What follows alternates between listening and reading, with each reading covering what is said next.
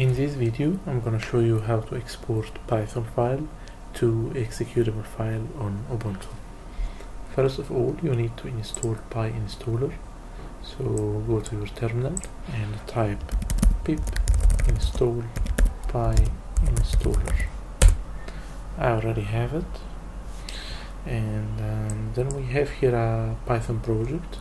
I will go to this folder cd python project.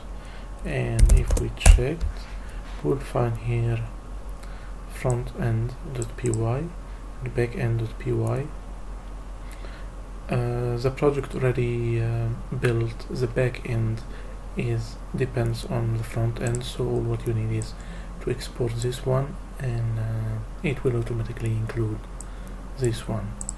So uh, just type py installer dash dash one file and then the file name front end.py and by hitting enter.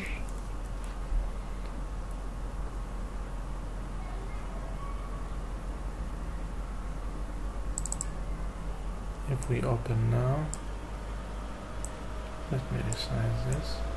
You will see some more folders have been exported build and dist inside dist you will see front end. If you open terminal here and type dot slash front end here is the application. It's a simple bookstore application built with Python.